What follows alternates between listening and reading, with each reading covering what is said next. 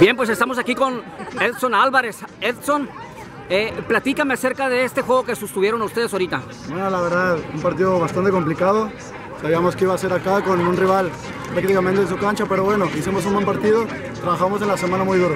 Sí, opíname acerca de lo que va a haber en las Olimpiadas ahora.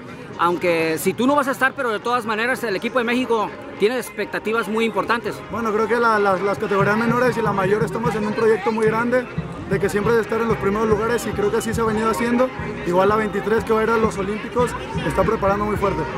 Sí, ahora unos saludos para todos los migrantes mexicanos acá que a veces se sienten un poquito asustados por estas amenazas de los racistas. Pero un saludo a todos los migrantes de todo corazón, somos latinos. Muchas gracias.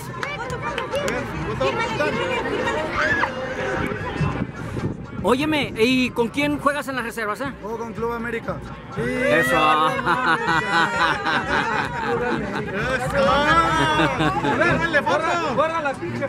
El capitán del equipo, Edson Álvarez, de la Sub-20 de México, que jugaron aquí en el Peoria Sport Complex, eh, en la ciudad del mismo nombre, eh, dentro de la metrópolis, la capital del estado del Gran Cañón, Phoenix.